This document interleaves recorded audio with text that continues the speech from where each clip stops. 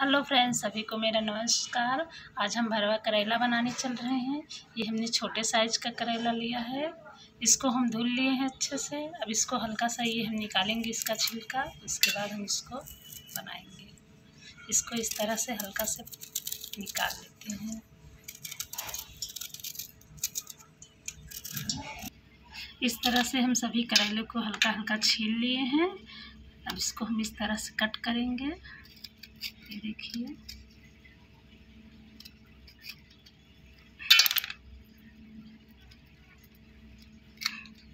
इस तरह से हम कट करके इसका बीज जो है निकाल लेंगे।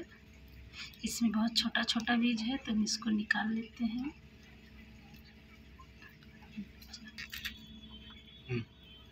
इसको हम बीज निकाल लेंगे, इसमें ताकि मसाला भरने में आसानी हो जाए। ये देखिए, इसको हम इस तरह से खाली करके रख ले रहे हैं।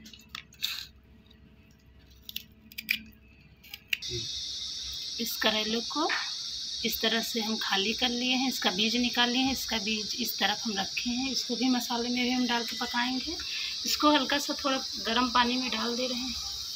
हल्का आधा चम्मच नमक हम डाल देंगे इसमें, ताकि इसका तीखापन निकल जाए।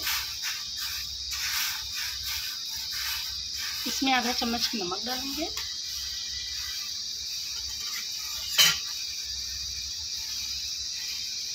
इसको लगभग दस मिनट ही पकाएँगे, ज़्यादा पकाएँगे नहीं, ताकि तीखापन इसका निकल जाए। हम एक बड़ा टमाटर लिए हैं, इसको हम पीस के रख लेंगे अलग से कटोरी में। और एक बड़ा हमारा प्याज है। दस दस पंद्रह लहसुन की कलियाँ हैं और छोटा सा अदरक, इसको हम मिक्सी में पीस के पेस्ट बना के अलग से कटोरी में रख ले रहे हैं। ये हमारा करेला बॉयल हो गया है, इसको हम इस तरह से निकाल के रख ले। ये हम करेला निकाल के सभी रख लिए हैं, थोड़ा ठंडा हो जाए तब तक हम मसाला को फ्राई कर लेते हैं। ये हम छोटा चम्मच से राई लिए हैं। एक छोटा चम्मच हम लिए हैं खड़ी धनिया, एक छोटा चम्मच हम लिए हैं सौंफ, आप एक छोटा चम्मच लिए हैं जीरा और आधा छोटा चम्मच लिए हैं मेथी दाना। और इसे हम तेल में फ्राई करेंगे। डाल रहे हैं इसमें। तेल हमारा गर्म है। अब मेथी दाना डाल रहे हैं। हम प्याज और लहसुन मिर्च अदरक का बनाए हैं।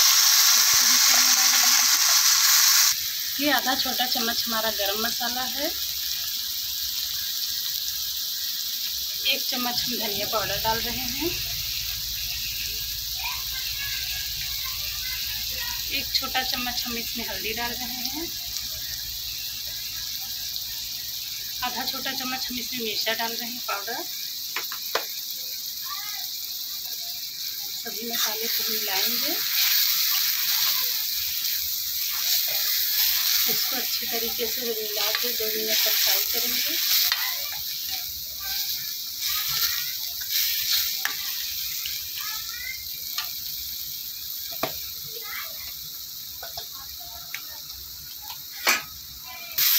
सभी मसाला हमारा पक गया है। इसमें भी टमाटर डालेंगे।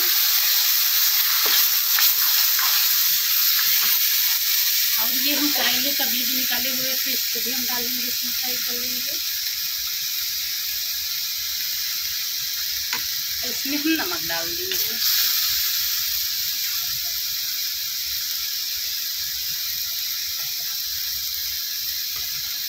इसको हम अच्छी तरीके से पका लेंगे, तब करेले में भरेंगे, ताकि अंदर जो मसाला है वो भी अच्छे से पका हुआ रहे।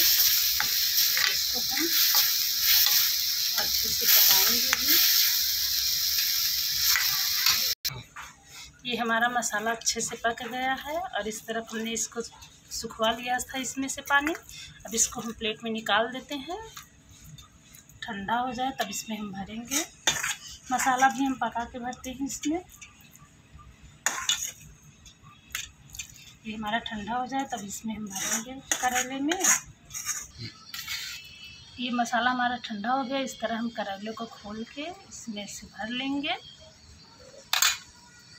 या तो हम तीली से भी इसको ऐसे मुँह में लगा सकते हैं, इसका बंद कर सकते हैं, ताकि मसाला हमारा बाहर ना निकले, या तो हम इस तरीके से धागा में लपेट सकते हैं।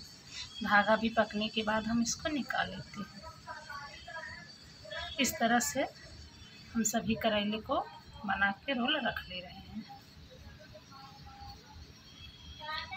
ये इस तरह से हम सभी करेले को धागे से लपेट के बाँध लिए हैं ताकि मसाला बाहर ना निकले। इसको हम तेल में फ्राई करेंगे।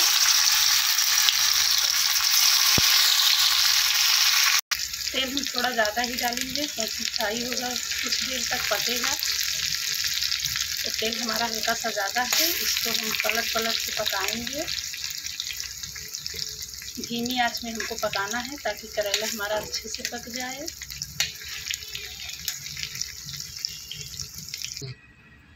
हाँ फ्रेंड्स ये हमारा करेला बन के रेडी हो गया है। अब इसमें से हम धागे निकाल लेते हैं। इस तरीके से हमारे धागे निकल कर रहे हैं। सारे धागे को हम निकाल लेते हैं।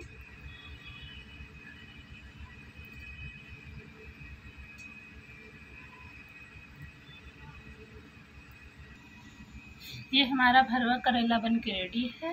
देखिए, इस तरह से फ्राई हुआ है। ये बहुत ही टेस्टी होता है। रोटी से पराठा, पूड़ी, चाहे जिससे आप खा सकते हैं, इसको रख भी सकते हैं। दो तीन दिन के लिए ख़राब नहीं होता। और मेरा तरीका पसंद आया तो मेरे चैनल को लाइक करिएगा शेयर करिएगा सब्सक्राइब करना ना भूलिए। प्लीज़ दोस्तों, धन्यवाद।